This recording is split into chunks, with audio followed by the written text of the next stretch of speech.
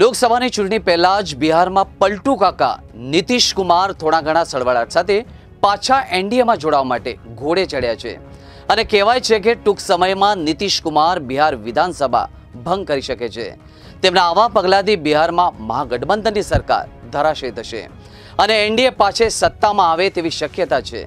ખેર પલટુ કાકા નીતિશ કુમારની લોકપ્રિયતા બિહારમાં ઝડપથી ઘટી રહી છે. બિહારના રાજનીતિમાં ટકી રહેવાના એકમાત્ર ઉદ્દેશ સાથે નીતિશ કુમાર મહાગઠબંધન સાથે છેડો ફાડી રહ્યા છે અને ભાજપ સાથે સંબંધો પણ બનાવી રહ્યા છે. રાજકીય વિશ્લેષકો માને છે કે નીતિશ કુમારની આવી પક્ષ પલટાની રાજનીતિ હવે બિહારની જનતા સમજી ચૂકી છે ખેર નીતિશ કુમારની પક્ષ પલટાની રાજનીતિ ઉપર જુઓ અમારો વિશેષ કાર્યક્રમ, પલટુ કાકા. બિહારની રાજનીતિમાં નીતિશ કુમારનું એક ખાસ સ્થાન છે. લગભગ અડધી સદીના રાજકારણમાં તેમણે પોતાનું સ્થાન ટકાવી રાખવા માટે કેટલીય વખત પક્ષ પલટો પણ કર્યો છે. અને અત્યાર સુધીમાં તેમણે બિહારમાં લગભગ બધા જ રાજકીય પક્ષો સાથે ગઠબંધન કર્યું હતું. અને થોડા સમય પછી પાછા છૂટાછેડા પણ લઈ લીધા હતા.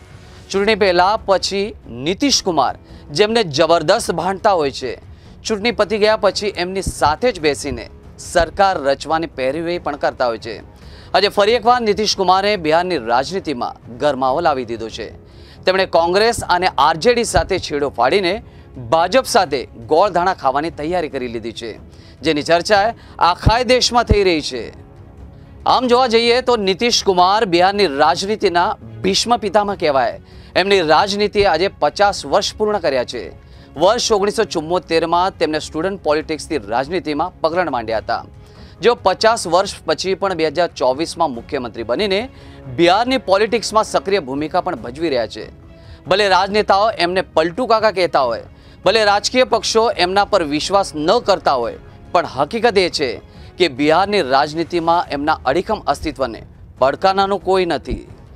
નીતિશ કુમારની રાજકીય કારકિર્દીની વાત કરીએ તો વર્ષ ઓગણીસો ચોરાણુંમાં તેમણે જનતા દળને ગુડબાય કહીને જોર્જ ફર્નાન્ડિસ સાથે મળીને સમતા પાર્ટીનું નિર્માણ કર્યું હતું.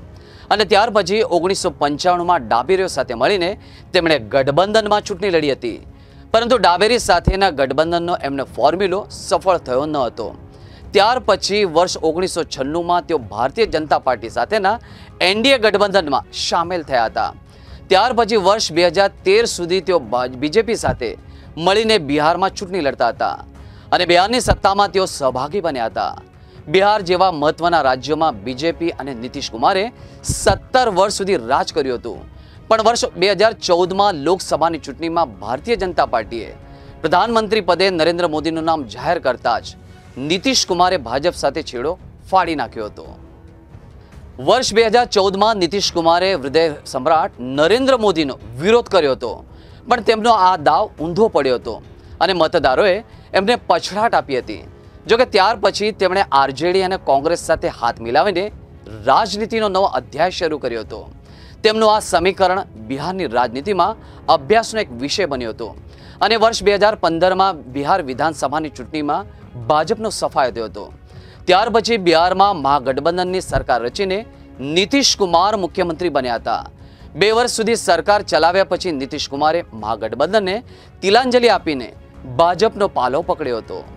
વર્ષ બે હજાર સત્તરમાં તેમણે બિહારમાં એનડીએ સાથે મળીને સરકાર બનાવી અને પોતે ફરી એકવાર મુખ્યમંત્રી બની ગયા હતા. વર્ષ બે હજાર વીસની ચૂંટણી નીતિશ કુમાર ભાજપ સાથે મળીને લડ્યા.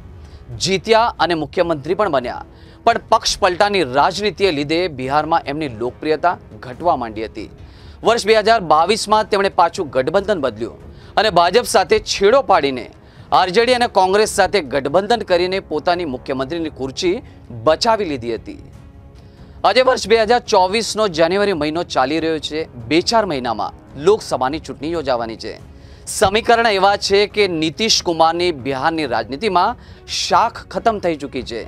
એમની લોકપ્રિયતા ભોય ભેગી છે અને એવા સમયે પોતાનું રાજકીય અસ્તિત્વ ટકાવી રાખવા માટે એમણે પાછો એનડીએનો પાલો પકડ્યો છે. બે ચાર દિવસમાં તેઓ આરજેડી અને કોંગ્રેસવાળા મહાગઠબંધનને તિલાંજલિ આપશે અને પાછા એનડીએમાં ભળી જશે. ખેર. નીતિશ કુમારની રાજકીય મહત્વાકાંક્ષા અસીમ છે. એનો ક્યારે અંત આવવાનો નથી.